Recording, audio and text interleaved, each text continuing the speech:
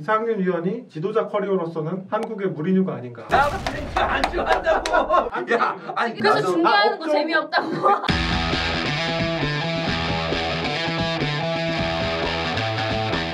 와중에도 엄청나게 큰 이슈가 또 하나 있었습니다. 뭐? 뭐 우리에게만 엄청나게 큰 이슈일 수 있지만 우리뉴 감독이 경질이 됐어요. 예, 내가 봤더니요. 네. 왜그 경질됐냐면요. 아니 이 슈페리그 때문에 자기가 그냥 자진 사퇴한 거예요. 이거 그러니까 반대. 저, 저는 음. 깜짝 놀란 게 네. 슈퍼리그가 뉴스가 나오고 음. 그 다음 날에도 막 계속 슈퍼리그 슈퍼리그 하니까 저도 막 정신없이 뉴스를 계속 보고 있었어요. 그, 야 그리고 이거 어쨌든 우리가 이거 썸타임즈 찍어야 되니까 야 가서 뭐라고 말하지? 막 어. 이러고 한참 고민하고 막 뉴스를 보고 있는데 갑자기 무리뉴 경질. 진짜. 뭐지 가짜 뉴스인가? 어, 예. 그니까 저도 살짝 처음에 봤을 때 뭐야 이거 뭐야 루머야? 뭐 장난치나? 어. 그랬는데 어. 진짜 경질이라. 그러니까 근데 이게 경질된 거를 또 스프레그랑 연결해서 말을 하는 사람들도 많았거든요. 음. 뭐 네? 이제 토트넘이라는 구단 자체가 뭔가 그런 위약금 이런 거 주는 거에 대해서 되게 예민한 구단 중에 하나예요. 근데 아. 무리뉴 감독을 경질시키면 어. 계약 기간이 있으니까 어. 위약금을 줘야 되는 거야. 어. 연봉도 비싼 어, 감독이고. 어. 그러니까요. 근데 스포리그 참가하면서 뭔가 자금 지원을 받았잖아요. 근데 그게 위약금보다 좀 더 많은 거야. 자금 세탁이야?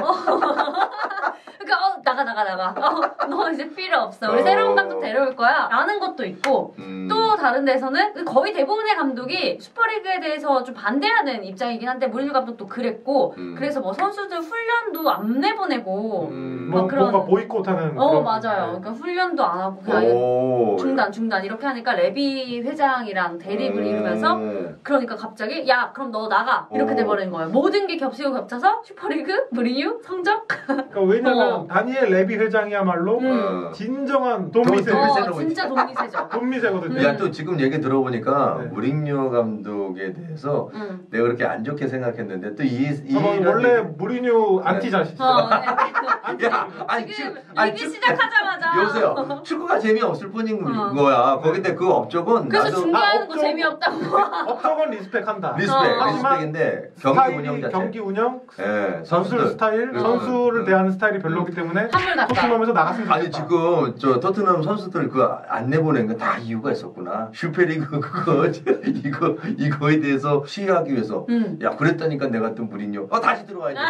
아 그리고 어. 이 무리뉴 감독 좀 경질 저는 더 놀랬던 게 그 네. 타이밍이 골 때립니다. 그니까 파라바 파라. 주말에 주말에 결승전 있죠? 오, 는 주말에 결승전이 예정돼 있어요. 그 음. 물론 뭐 큰 대회는 아니에요. 리그컵이라서 큰 대회는 아니지만 어쨌든 토트넘으로서는 지난 2008년 이후로 우승컵이 없단 말이죠. 어 맞아요. 13년 만에 처음으로 우승컵을 딸 수 있는 기회인데 그리고 또 무리뉴 2년 차에 마- 네. 매직이라고 해가지고 무조건 컵을 들어 올린다. 이 결승전을 앞두고 네. 감독을 잘라낸다. 어. 이거는 예상치 못했던 거. 어. 그쵸. 근데 원래부터 자르려고 계획한 거잖아요. 그랬는데 그랬던 만약에 그랬던 걸로 보이죠. 그쵸, 맞아. 아, 주말에 그래? 했어. 근데 이긴 거야. 그- 아, 근데 막 그러면- 자르기도 좀 그래요. 우승 감독을 잘라기는 어. 뭐 애매하니까. 아니, 그 그러니까 전서- 그 전에 잘라버린 거죠. 그 전서부터 계속 얘기가 있었잖아요. 어, 네. 맞아요. 그러니까 왜냐면 계속 일단은 원하셨잖아요. 그 원했어요. 원했고 이제 선수들과의 어떤 불화도 너무 계속 네, 네. 이슈가 될 수밖에 없는 음. 어. 상황이고 그 감독으로서도 구단 레비 구단 그 단장하고도 회장하고도 계속 대립 쓰는 게 기사 나오는 것들 있잖아요. 그냥 나오는 게 아니잖아요. 어, 맞아요. 예, 문제가 있기 때문에 그런 어. 문제점들을 계속 노출했고 팬들도 반응이 좋지 않았어요. 어. 아 그리고 네. 심지어 경질되고 난 후에도 음. 어, 잘 가라 그다음 고생했다 결과가 잘 되지 않아서 너무 아쉽다 행운을 빈다라는 글을 올린 선수도 있고 아.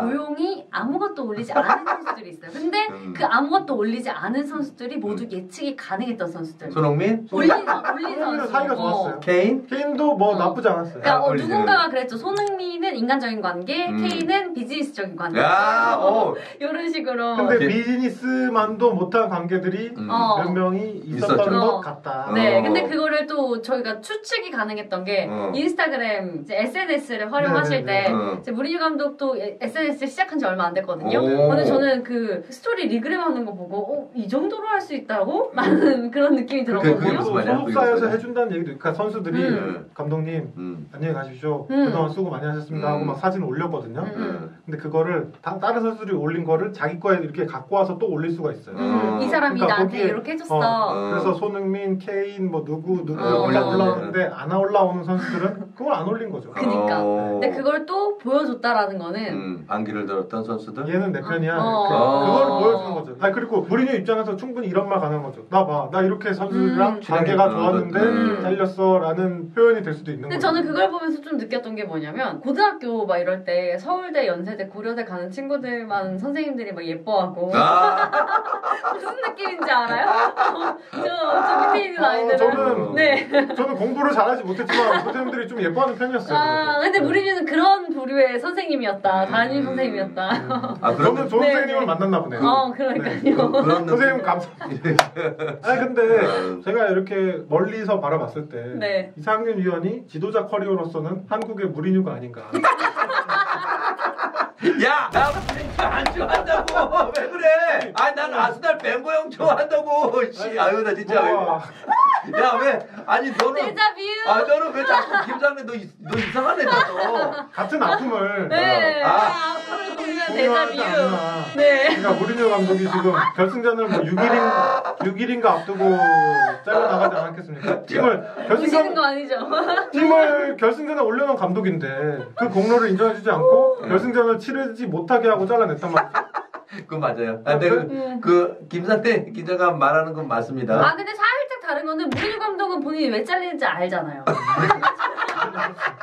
근데 야. 본인이 왜 잘리는지 아니 나는 몰라. 진짜 뭐 과거 뭐 음, 정식 아니, 감독은 아니었지만 정식 감독 아니었는데요. 몇 년도죠? 이, 그 기억도 없어요. 그러니까 어쨌든 2010년대 중반. 아니 중요한 건 4강이 올려놓고 아, 그러니까 저저 앞뒤 미디어. 앞뒤 사정도 좀 설명해 주세요. 우리 어. 시청자분들은 모르시니까. 응. 아, 그러니까 제가 감독 성남- 성남 어, 감독 박주환 대행. 박주환 감독님이 나가면서 불미스러운 일이 있었잖아요. 네, 그래서 아, 이제 그 그것까지는 감독 대행을 했잖아요. 네, 네, 네. 전혀 문제가 없는 팀이었어요. 네. 어, 뭐 강등될 이유가 없었고 분명히 잘할 수 있을 거라는 기대감이 있었는데 컵대회, 컵 대회 FA컵. FA컵에서 4강에 올려놨어요. 그리고 네, 네. 미디어 데이 미디어 데이 가서 아주 입 털었죠. 음. 이런 우리 이런 전술로 어, 그렇죠. 그렇죠. 털었는데 완전 털었는데 네. 전북을 상대로 승리할 것이다. 아니. 어, 입이 귀에 걸리게 웃고 있는 사진도 찍혔어요. 아니 아무 아무 문제가 없었는데 네, 막 이렇게 하고 사진 찍고 어 그랬는데 그거 갔다 와서 잘렸어요. 왜 잘렸는지 이유를 모르겠어요. 지금도 몰라요? 저를 못 믿어 했던 거죠. 어, 근데 무조건 우승할 수 있, 있고 또 나를 믿어줬으면 충분히 야, 야 근데 그러고 우승했죠. 우승했어요. 와, 전, 그러니까 겁나 열받아요. 와 이거 만약에 토트넘이 우승하면은 완전 데자뷰다. 무리뉴 한국판 무리뉴. 아, 근데 진짜. 근데 또 네. 선수 커리어로는 비교할 수가 없어요. 아, 그건, 그건 인정. respect. 어디. 감이에요? 아니 여기 훨씬이죠. 야, 야, 월드컵에 출전한 선수인데 나 알고 알고 있어요. 알고. 우리는 뭐 그냥 어. 뭐 체육 선생님하고 그랬는데 아 근데 중요한 건 진짜 그때 마음은 아팠지만 음. 여튼 우승을 했단 말이에요. 음. 그런 거 있잖아요. 다 만들어 놓고 있잖아요. 숟갈만 펐어요. 아 짜증 나요. 다 만들어 놓고 숟갈만 폈다고? 아니 다 만들어 그 놨어요. 아, 예. 숟가락 얹은 제- 거지. 어, 어, 퍼. 제, 제대로 돼가 있잖아요. 반찬하고 그런 것도 네, 다 네. 만들어 놓고 있잖아요. 차려놓고. 먹기만 하면 되거든요. 어. 아 진짜 기분 되게 나빴어요. 와. 아 근데 미디어 데이에 참가하고 어. 그 안 경기를 지휘하지 못했다는 거는 저 좀 이번에 처음 알았어요. 어, 저- 이것도 근데 진짜 위원님의 삶은 영화 하나 만들어도 될 것 같아요.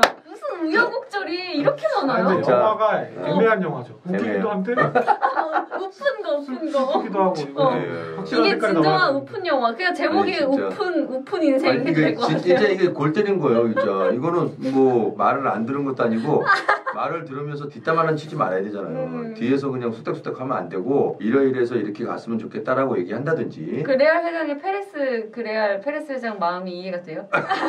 근데 여튼 기분은 안 좋았는데 뭐 지나간 일이니까 얘기하지만 좀 그런 일들이 순, 순서가 좀 있었으면 좋겠어요. 그, 그- 그분들도 지금 음. 구단에 지금 안 계시죠? 안 계시죠? 뭐 잘될 일이 있습니까? 아니 오. 잘될 일이 오, 있냐고. 매운맛. 어. 뭐 매운맛. 아니 왜냐면 잘 이런 거 없는데? 어, 아니 저기 축구인이면 축구인들이 선배가 후배가 다 잘 되게끔 해줘야 되잖아요. 음. 근데 그게 안 돼서 좀 마음이 아프고요.